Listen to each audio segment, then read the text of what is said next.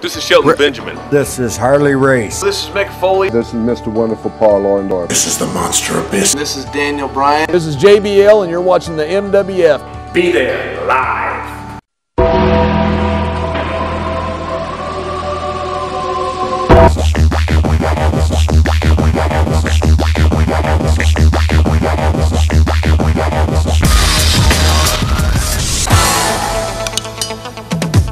Wrestling fans from around the corner and around the world, welcome to another installment of Wrestling Insiders. I'm Dan Marotti here at MWF Studios just north of Boston, Melrose, Massachusetts. John Cena Sr. is on location as we roll into July. In this edition, let's check out the July 1st, 2015 episode of NXT on the WWE Network.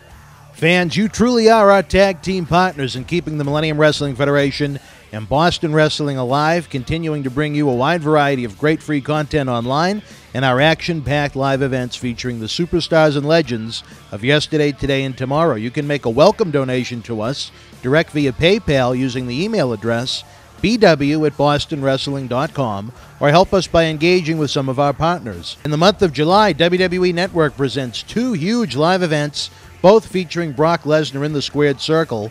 Beast in the East, July 4th in Tokyo, Japan, as well as the Battleground pay per view Sunday night, July the 19th from St. Louis, Missouri, as Lesnar takes on the WWE World Heavyweight Champion Seth Rollins. The first time Lesnar will have had a chance to get his hands on Rollins since WrestleMania. If you haven't subscribed to the best value in professional wrestling media as of yet, click on the link below and watch it on any online platform.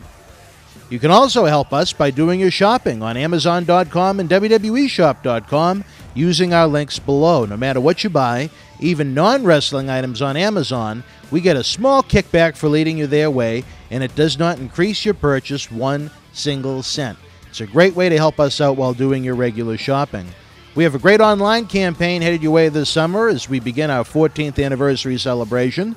We'd also be happy if you joined us by subscribing for free to our YouTube channel. We're starting to close in on 800 free videos for your viewing pleasure, and if you enjoy what you see, please share it with your friends, and more than anything, click the like button on YouTube so it'll showcase more of our giant library to more and more of your fellow professional wrestling fans. In a day and age when indie and underground are cool, let's make this as big as it can possibly get, fans. We got a lot of great content for fans anywhere in the world to enjoy on YouTube, as well as the BostonWrestling.com super site. NXT opened up with the Vaudevillains defeating Dash Wilder and Scott Dawson. Later on in the show, the general manager William Regal announced that the Vaudevillains will challenge Enzo and Cass next week on NXT in a number one contenders match to see who will face the NXT Tag Team Champions, Blake and Murphy. Baron Corbin defeated Tucker Knight with the end of days in a quick matchup. I like Corbin's look, and I could see him becoming a solid part of the WWE roster if he continues to improve. Knight was a really big guy. It was my first time seeing him. We were then treated to the third part of the NXT series on my buddy Finn Balor. In this installment, he talked about how much he enjoyed inspiring artists who have had a field day with his look. He walked through his NXT debut. He talked about where the Finn Balor name came from and how he developed his character. If you missed any part of this three-part series on Balor, the NXT is having a special tonight at 10:30 p.m. and I imagine that'll be available on demand as well. It's certainly worth going out of your way to see. Emma defeated Carmella via submission. Later on, Emma and Dana Brooke had a confrontation with Sasha Banks in the locker room over wanting her title. Banks challenged them to a tag team match. It'll be interesting to see who Banks chooses to team up with. Tyler Breeze defeated Tye Dillinger with the beauty shot. Savio Vega, eat your heart out. Breeze is really growing on me. He didn't make much of an impression on me at first. First couple of times I saw him on WWE live events. But I have to question is he a heel or is he a face? Had the same questions about Sheamus on Raw Monday night. Breeze looks and acts like a cocky heel, but the fans cheer for him, and he doesn't cheat.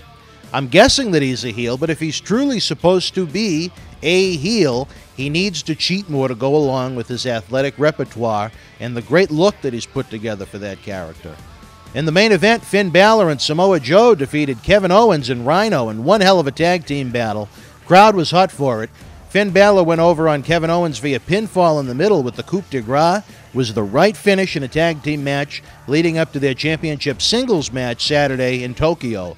I'd still like to see John Cena walk away with the NXT Championship for a short period of time to keep his feud with Kevin Owens alive in WWE. I do hope that Owens remains a regular in NXT for the foreseeable future, with so many feuds in the works with baby faces chasing the heel champion. You'd think, in theory, with Owens doing so much in WWE, that Balor would walk away with the gold in Japan Saturday night, but you never know. You have Balor, Samoa Joe, the returning Hideo Itami once he's recovered from his injury, all with issues with Kevin Owens, and I'd like to see that keep going. Like NXT, because so much of it is so new to me, I would like to see more angles on the show behind the main event stories. The more guys in the mix with something interesting going on, the more interesting the show will be each week, and in theory, that'll lead to more eyeballs on WWE Network. I thought NXT, along with both TNA and Ring of Honor, were all very good this week, and that's the first since the quote unquote Wednesday Night Wars began on June 3rd. Check out our reviews for both of those programs on our YouTube channel as well.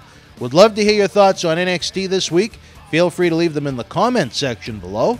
Hope you have a great and safe July 4th weekend. If you're going to have an adult beverage or few to celebrate America's birthday, hand over those car keys. I had back surgery about a month ago due to injuries sustained by a loser that drank way too much and fell asleep behind the wheel of his car that almost killed us. No reason for me to be in this much pain as I put this review together, but that's a different story for a different time. Hope you have a great time and don't put yourself or anyone else at risk. Until we speak again, you and yours stay well.